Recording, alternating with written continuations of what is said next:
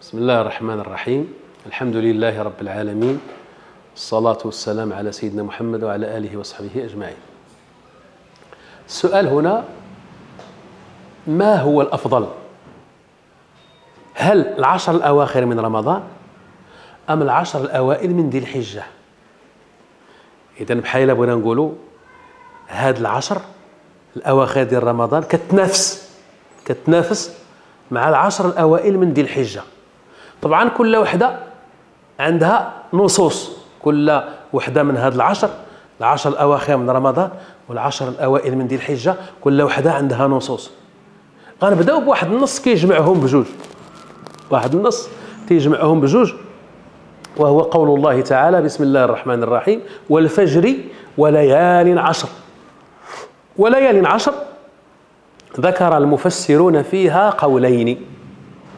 القول الأول أنها العشر الأواخر من رمضان والقول الثاني أنها العشر الأوائل من ذي الحجة.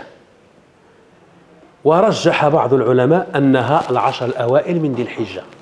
لأن هذا النص كيجمع كيجمع ما بين العشرين.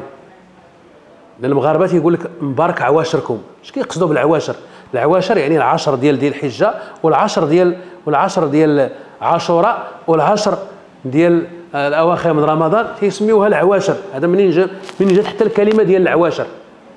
كيقصدوا والله تعالى أعلم واخا ما بحثتش أنا في الأصل ديال هذه الكلمة ولكن تيقد ديك الأيام ديال الفضل الأيام ديال العواشر اللي تيكون فيها الخير. عواشر العشر ديال رمضان العشر ديال ذي الحجة وكذلك العشر ديال آه، محرم.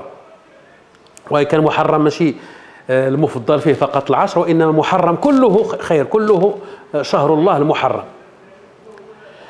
اذا نرجعوا للعشر الأواخر من رمضان. قال لنا النبي صلى الله عليه وسلم في حديث أمنا عائشة رضي الله عنها كان إذا دخل العشر أحيا ليلة وأيقظ أهله وشد وجد المئزر. بمعنى كيجتهد في العشر ما لا يجتهد في في غيرها من الليالي.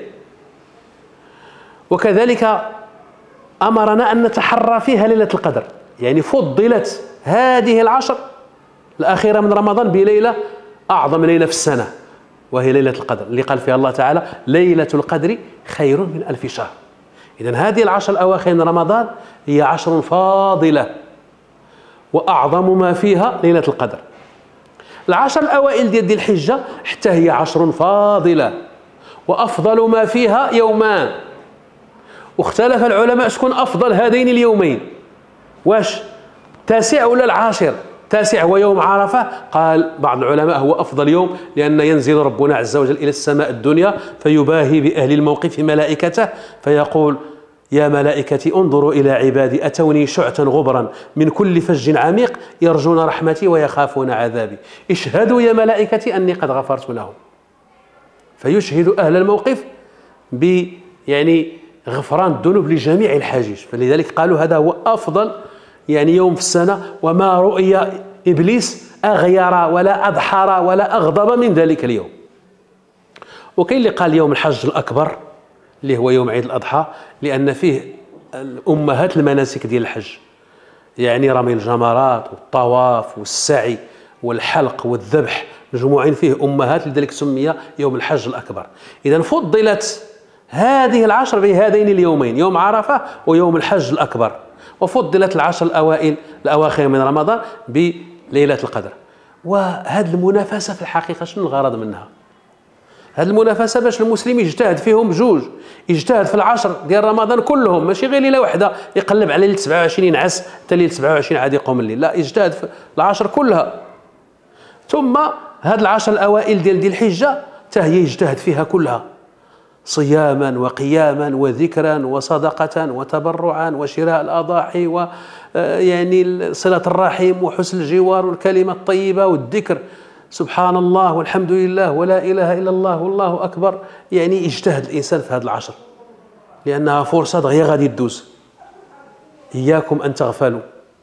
إخواني أخواتي إياكم أن تغفلوا عن هذه العشر. فإنما هي لمحة بصر. وتمر بسرعة فإياكم أن تغفلوا عنها وإياكم أن تضيعوا أجرها. والموفق من وفقه الله. نسأل الله لنا ولكم التوفيق والسداد. اللهم بارك لنا في هذه العشر وأدخل علينا وعلى جميع أمة الإسلام عيد الأضحى بمزيد من اليوم والبركة والتيسير والتوفيق والزيادة في الأجر والزيادة في الخير والزيادة في الطاعة.